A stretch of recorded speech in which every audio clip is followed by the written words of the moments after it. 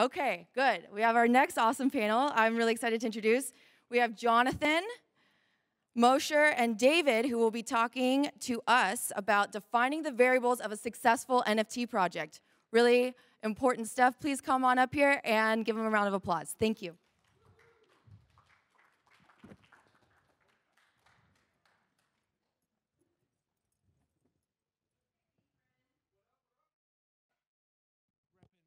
Mic work? Can you hear me?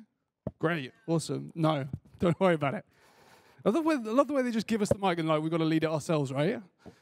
So I think what we're going to do, obviously, we're going to talk about the variables of a project success. But I think before we get into that, we're going to just do our brief intros. My name is Moshe Roth. I'm founder of the NFT Alpha podcast. This is actually my co-host as well. We're going to talk. Uh, he's going to intro himself.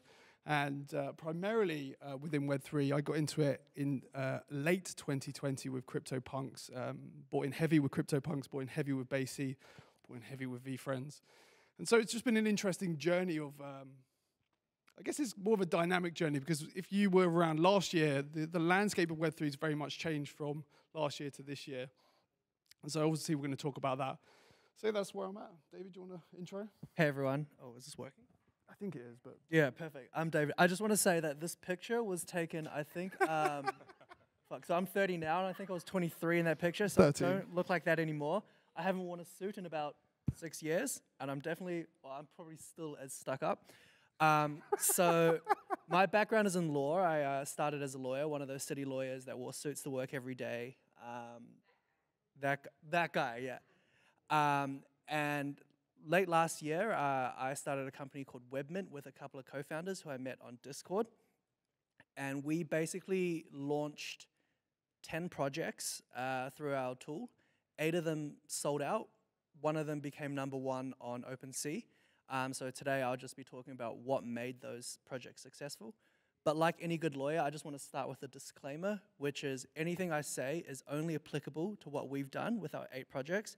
Whether that has any universal applicability is uh, TBD. Uh, I'm Jonathan. Um, got involved in crypto probably back in 2018, um, and in F- NFTs from probably beginning of last year. Um, been helping Simon on the podcast for the last six months or so, um, and I suppose I might as well address my picture up there as well. That was uh, it's a great picture. going through hell um, after hitting the wall in the Berlin Marathon, and uh, just nobody cares. Work harder. So I think that the best way I think we're going to formulate this topic is to look at it from an investor standpoint, which is when you're looking to buy into a project, and then looking at it from a project developer's standpoint, which I think we'll push to you, David, on that. If you want to, we'll talk about that uh, second. So I'll give my input, and then we'll push to Jonathan, and we'll push to you, David. And you can either give like your personal or professional input as a project dev or whatever. So last year, depending on when you guys actually entered into Web3, it was like finding projects was a sort of a different skill in itself. It was very elementary, or dare I say it, primitive. So what we would do is we would go on this thing called Rarity Tools. We'd go down the list. We would look at things like the Twitter following. We would look at the Discord following, right? Yeah. And uh, and then we're like, yeah, this is it. And uh, that was all bullshit. So uh, we found out then that you could fake the Discord followers, you could fake the Twitter, Twitter followers as well. And the roadmap couldn't necessarily be held accountable. So like people would be like, you know, we're going to go to the moon, literally, and uh, they would never deliver on that. And so I guess we now push into something different. The standards that we had last year are completely different to the ones that we have now, and the standards next year will be completely different to the ones we have now also. What it is now is I don't think we really know what the variables are to a project success. I don't think anybody knows. So here's what we do know. Speculatively, VC backing, right? You would say, well, you know, we see a lot of projects, whether it's Doodles or Moonbirds, or whether it's VeeFriends, rep, rep, are reaching for venture backing and have achieved it. And so with that comes a deliverable, or with not just a deliverable, also a time horizon for that deliverable. And so we would say, okay, so that could be a good indicator of success. But then again, what, what do VC firms know about Web3? Not very much is the answer. They know about as much as we do because we're all starting at the same place, which is important for everyone to bear in mind, regardless of where you're at with your journey. Yeah. And then we have team doxing, right? Which is like, you know, last year we were like, yeah, let's don't worry about it. You know, they got some great PFPs. But I think the, the, the variable is if somebody is asking you for money, then they need to be doxed. Yeah, if there's an exchange of, of tender, whatever, then they need to be doxed. And what that really means is when, when I see a, doc, uh, a doxed team, what, what I'm really looking for, in fact, that's the first thing I look for in a, in, a, in a project, really. We have a bunch of projects on, and almost, I mean, practically all of them are doxed, otherwise they probably wouldn't be on is they are demonstrating their willingness to take accountability for the project. Yeah? And then um, I guess the final, there's, there's two other variables. One is Web 2 performance. So we have also, we've, we've had, uh, been privileged enough to have a lot of Web 2 um, uh, performers that are now bridging into Web 3. So when you look at that project, it's important to bear in mind what they performed in Web 2. You know, we had Gowalla who uh, um, were bought out by um, I don't know who they were bought out by, but they were certainly invested with Kevin Rose and Gary Vaynerchuk, some significant figures and significant um, performers in Web2. And so that's, that's also another variable that you may want to consider. And the final one, I can't remember. What is the final one? Put it on my phone. Oh, that was it. So when we talk about the roadmap, it was like, well, you know, you can say, because like the roadmap is naturally an indicator to buy or, or a motivation to buy. So it's like, what is the project set to deliver? And will it actually deliver? So if you have something that mints out, is, does that mean you're going to deliver on that roadmap? And that was a big concern for everyone. But now, um, what it is, is that given we've got now uh, EU guidance as well as um, we've got SEC guidance on how to tax an NFT, um, whenever you are releasing a project within the EU, you must submit your white paper of your deliverables or what you're proposing to deliver to the local regulators within your country. And that's so that you can be held accountable. So I'll, I'll just push to Jonathan what he thinks is, and then you can go around. Yeah, um, I know with the VC stuff, you know, you only tend to see the VC backing for the bigger companies, bigger projects. Um, usually they've got a Web 2 background and they're, they've got a proven track record. Um, so that's obviously a big indicator of what will be a successful project or that something that will be around for a long time to come. Um, there's another thing, we, we had a kind of brief call a couple of weeks ago and David touched on community and I think for me that's that's a massive one. Um, like I think it's a it's a great show on a project of what they've built if their community is not only loyal but they stick around. And you know, for me, that's that's one of the biggest things. What do you think, David? Um, yeah, so our, the second project that we launched, it's called Tasty Bones. It reached number one on OpenSea. It didn't get any VC backing, but it's got 11,000 ETH in trade volume, um, and it generated about $23 million. Um, so I personally haven't invested that much into NFTs. We've just launched a bunch of them. And for us, I think what we realized when we launched Tasty Bones was that the NFT game is not about technology, but it's about IP. So the first project we launched, we did a bunch of cool things with tech. We had dynamic traits. We allowed people to, you know, swap uh, their traits with each other in a gasless way without compromising any of the metadata. Uh, we had like giveaway portals. We had our own token, uh, but people just didn't really care about that. So for our second project, what we really focused on was just the IP rather than the tech. So we stripped back all these features, and we were just very consistent in our theme um, and our messaging um, and you know our roadmap and our design. It was not very thought out, but it was always based on this idea of fun, playful uh, cartoons. And all the collaborations that we did enter into in terms of you know real life partnerships and partnering with other projects all fit into our theme of you know these hungry ghosts that were there to uh, collect food for their friends. Um, so I think it's all about understanding that NFTs is about recognition and IP rather than building anything uh, with amazing technology. Uh, the number of projects that we see that say, you know, we're going to go to the metaverse, or um, just the other day, uh, there was a project that launched um, that made that had no coherent messaging. So they had something like, "Oh, we're going to give everyone Adobe memberships," uh, but the but it was all about anime. Um, so it just needs to have consistency, I think. The other thing I just want to mention um, is I think a lot of people don't touch on this, but it's just luck. What defines success? I think not just in NFTs, but in any project is so true. blind luck. Being at the right place at the right time and being noticed by the right people. There are things you can do to maximize your luck, but a lot of it is just randomness. I do wonder if like the Bored Ape Yacht Club were to release today, whether they'd do as well. I don't think they would. No, definitely not. I, I think when they had that situation with MoonPay and uh, that onboarding process, and I can't remember, I, I think there was significance around the IP rights. That was quite innovative at the time. And I think, you know, you touched on IP, and uh, we've been on this adventure of, of understanding what IP is as well as royalties, which is like a boring subject now, to be honest with you. But when I think, I think it comes down to when you look at these projects and they propose that you have IP rights across your token, right? Uh, the main question that I ask is, is the IP revocable? So with Moonbirds, you had IP rights, which I don't know if you guys are familiar. Moonbirds, Kevin Rose, he's like one of the top five executors within Web3 himself. Uh, next to him is like Gary Vee and like uh, Mark Zuckerberg and stuff like that. And so their phase two project was Moonbirds. They deployed um, IP rights across those Moonbirds so you could commercialize with them, which basically means you can make money from them.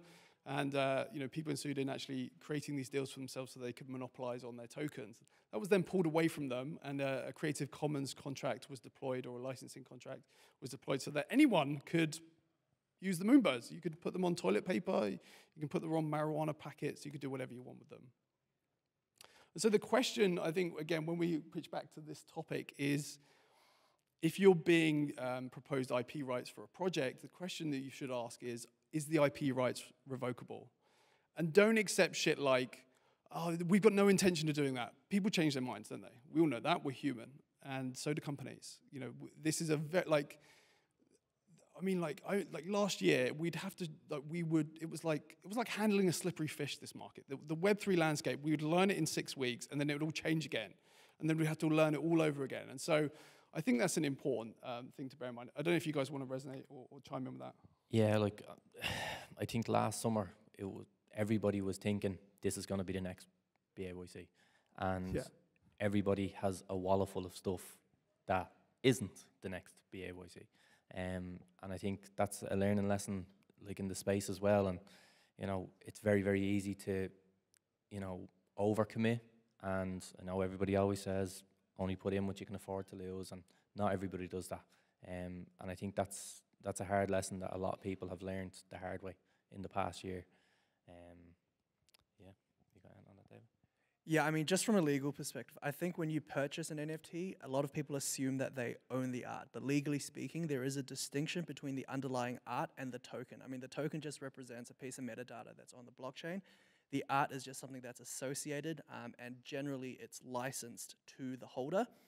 Um, I think that NFTs have done a great job in sort of decentralizing or changing the way that IP is traditionally distributed. I mean, if you look at Disney, for example, everything is very centralized um, and they control how Mickey Mouse or Donald Duck is Goofy is Disney, yeah, yeah. Donald so. Donald Duck is sort of centrally uh, distributed. But whereas if you look at Bored Ape, when you purchase the token, um, you don't own the art, but you do have a I don't know if it's revocable or not, but you do have a perpetual license to use the art in any manner that you deem is you deem necessary, and that way it's it's able to sort of spread its IP through its holders um, in a much faster manner than you know traditional Web two. I think that if you understand that NFTs are about IP, allowing your holders to actually do the marketing for you is really going to lead to uh, much quicker brand recognition. I definitely agree with that. I don't think when it comes to deploying IP across token holders, I don't think it's a good idea, man. I don't think we're all professionals in building IP. Mm. So, like, um, yeah, I, I, just don't feel like that's going to lead to anything. We, have definitely spoken about it a ton yeah. before of you know, it's a great idea until it's not. Until yeah. there's one bad apple.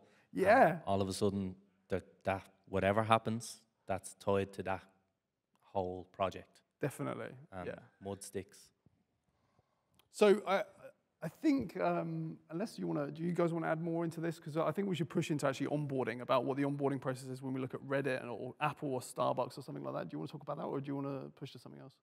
Happy to do that. Yeah. So this has been a hot topic. We actually don't, uh, I mean, this is something that's up and coming, which is, well, it's not really up and coming, it's established, to be honest with you, which is onboarding. You know, these mainstream brands, which, to be honest with you, we all thought they weren't going to come in, but we did predict that hopefully that they would. And the reason why we didn't think they were going to come in is because they didn't have regulations, things called security or investment vehicles, so that you could um, derive from that investment protection. Uh, mainstream brands don't give a shit about that. Um, apparently, because if you look at things like Starbucks or Reddit or Mercedes Benz or Adidas, anyone significant, if you put in something like that into Google, it will come up with something. And so that's been a very interesting process about essentially how do we broaden the population within Web3? And part of that is, is taking a stakeholder from a brand that uh, someone is enthusiastic for and then bringing them into Web3 through that onboarding process. So there's like rainmakers as well.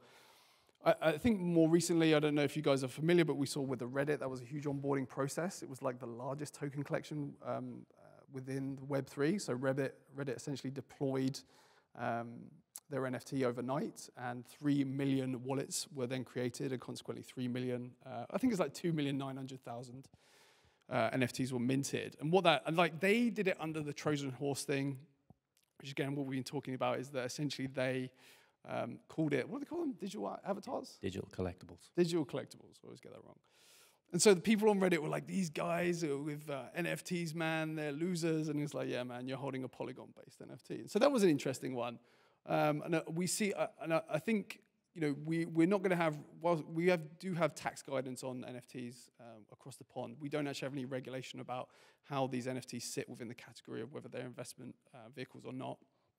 And, uh, but I, I, do believe uh, that mainstream brands will continue to um, onboard their, their client bases. So I'll push to any of you guys. Yeah, so we're, we're actually currently working with a very large clothing uh, brand that are based in Singapore. Um, and the reason we asked them, you know, why do you want to work with us? There's, there's so many other sort of development companies, there's so many other projects out there that you can work with. And the thing that this came back to was really just reach. Uh, you know, marketing is everything, whether it's Web 2 or Web 3. Um, and across all of our projects, we managed to uh, get a reach of around a million people on social media. I know social following isn't everything, but it is a, a face value metric that a lot of brands look at in terms of engagement. Um, so what made us successful was that we were able to do a lot of collaborations with other great projects. And so now this clothing company is coming onto us because they want to onboard their users onto Web3. And the way they see um, that happening is by doing collaborations between uh, NFT projects in this case, our NFT projects with their existing sort of members. So we'll be doing some sort of uh, clothing collaboration, but also things like discounts and, and then also uh, cross marketing. So I think it's important um, in terms of onboarding a, a, a, new wave of users to be able to collaborate and work with existing uh, projects um, that are already very successful in the space whether you want to launch a new project or whether you have an existing Web 2 audience that you want to take into Web 3. Yeah, that, that's something that we've also spoken about quite a good bit with the onboarding process. That we see the biggest on ramp is going to be when people don't know that they're actually being onboarded into Web3. And the likes of Starbucks um, is going to be one of the big ones for doing that, where it will be just part of the rewards program. You will own your NFT, whether you know you own it or whether it's just a sticker in your app. You know, that that's what we see is going to be one of the biggest on ramps anyway and onboarding for people. Yeah, uh, we definitely thought that. I mean, we're all prophesizing it was going to be gaming, right? Which I'm not a big gamer, and actually, to sell a gaming NFT is a lot more. Um, it's a lot harder than selling a PFP because, like, PFP projects have their limitations at the moment. They're they're lacking innovation. Like, I have no interest in having a, a piece of merchandise which is, you know, equates to a T-shirt or some socks um, as a utility activation for my NFT. And so I think we need a, a, bit of work to do there when it comes to innovation. So what happens is, is naturally when you're in Web3, and I'm sure, again, many of you are here for a reason, you look for different horizons. And one of those horizons we've been looking at is gaming, right? Which is like, if PFP project was like a three by three Rubik's Cube or however big a Rubik's Cube is, Play-To-Earn gaming is like a 24 by 24. It's a lot more comprehensive, and the rewards are not actually any more significant. Like, there's these different processes about, um, like, I'm not a gaming specialist, I can't necessarily um, comment on it. We have one of our co hosts is about the retention rate, right? So, like, and you can push from that about, you know, like you get bored of a game. Do you ever get bored of artwork? Probably not. So then, therefore, you would push to artwork. Do you get bored of music? Yes, you do, unless you've got like a Mariah Carey hit that, that hits around Christmas. And then you say, well, okay, we can apply that framework not just to gaming, we can apply that to music. So we have music NFTs, right? Which is removing the middleman, you know, removing the, the record labels, which goes straight to the, um, you know, you, you, know, fans have more create, I would say creative control, but they have more impact on, on, the, on the creator, um, as it were, when it comes to, you know, wherever they're going to end up. So that's been an interesting one. But what my point is, is that um, when you look at the statistics or the data, like there was a recent survey that was pulled on what gamers' attitudes were to like Web3, they fucking hated it. They thought it was expensive, they thought it was a scam, and they, they thought there was too many barriers to get into Web3. And you know how it is, right? The barrier to get into Web3, you've got to set yourself up on MetaMask wallet, you've got to do a Coinbase. It's bullshit. It's hard to get there. And I think that is actually, when it comes to onboarding, that is a hurdle uh, that we need to get over. Um, we see these projects that are actually um, they're enabling you to buy these tokens straight from fiat, so straight from like credit card and stuff like that. And so that's an important consideration. I know we're, we're time sensitive, so I'm going to push to, you guys, and then we can maybe cover another topic if any if you got a commentary on anything else. Yeah, just just one quick thing. Like uh, Swalsum, our other co-host on on our show, he's a gaming expert and an NFT um, gaming consultant, and we've definitely spoke like numerous times about. I'm sure he's blue in the face trying to get us to trying to trying to Yeah. do play to earn gaming because he introduced us to so much, and it like the way we kind of look at it is well, hang on, we're looking at a monetary uh, kind of point of view, kind of going, well, if it's going to take us three hours to earn ten dollars worth of whatever NFT, whereas if we were actually working for three hours, what could we earn? So um, that's kind of the, the kind little bit of a battle that Swalsum does have with us, kind of constantly, pretty much. But you got anything on that, David? Nothing on gaming, um, but just this idea of utility. Um, and I think we, we were working with this music label producer who also hosts concerts, um, and they wanted to enter into Web3. Um, and so we sat down um, and we're going to do a trial based on a Christmas event that they've got coming up. And the biggest question for us was why would any of your users purchase a ticket on the blockchain when they can just do it via Ticketmaster? Um, so I think we see a lot of brands trying to enter into Web3 just because it sounds sexy, uh, but it's all about having an additional incentive to actually enter. So for us, we, we integrated with a company called Winter that were able to take payments by fiat, uh, and we, we released the NFT versions of the tickets more as a exclusive membership uh, that would offer additional, you know, early bird access to future events, um, discounts, as well as this idea that instead of having your membership controlled by Ticketmaster or by the organization, you control that membership, and when you don't support the the record label anymore, you can then sell it to one of your friends because they are going to be limited in number. Okay, we have like two minutes and 45 seconds. Who's got questions? I'm dead serious. Otherwise, we're going to talk about royalties, and that's just boring, right? So, has anyone got any questions? Excellent. We can talk about royalties. Right. Okay. So, royalties are not enforceable on the blockchain. Did you know that? Not Well- enforceable on the smart contract. y- you missed IMX's uh, talk this morning, so they're going to make them enforceable on their contracts. Are they? Yeah, he announced it this Sorry, morning. mate. I wasn't there. I was in traffic.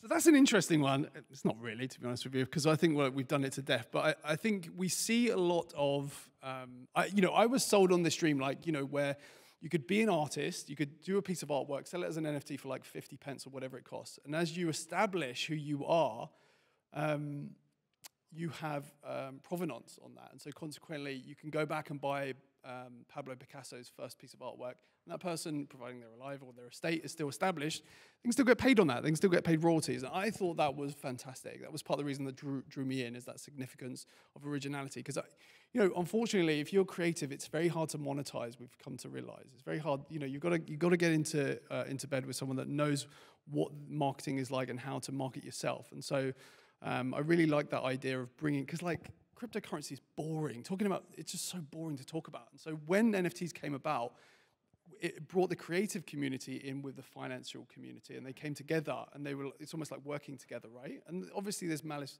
um, characters operating in it, which I'm sure you guys are all aware of, rug pulls and stuff like that. But um, we have this shift at the moment where it's either like projects are, starting up their own marketplaces or platforms are deploying 0% royalties. I don't know really where that's going to go. We have like we had recent news where there's like a membership fee, but basically people go where the cheapest place is. I came here for the money. That's it. That's what I came in here for. I stayed for the people, though. That's the thing.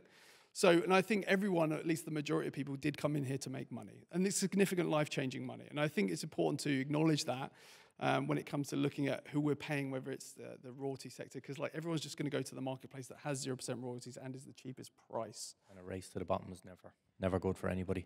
What way do you do your royalties when you, you're launching the projects? Have you got a set way of doing it, or is every project different? Uh, no, every project is different, but I personally like no royalties. I mean, the majority of our projects made, uh, you know, like 80% of its revenue from royalties. Uh, but I think that removing royalties is great because it's going to encourage projects to actually think about how they can generate revenue other than just, you know, bumping up the floor price and selling on a secondary market. So what we're seeing right now with a lot of our users is that they are focusing more on utility and then also making the initial NFT more expensive. So just finally, guys, we're running out of time. So if you want to uh, look for me on Twitter for Moshe Roth, you want to look for Jonathan and David, how do people get hold of you? At Webmint with a three instead of an E. What's it called? Webminty. Webmint, but instead of the E, it's a three. Excellent. Guys, thanks so much for your attention today. we much. wish you the best. Thank you, guys.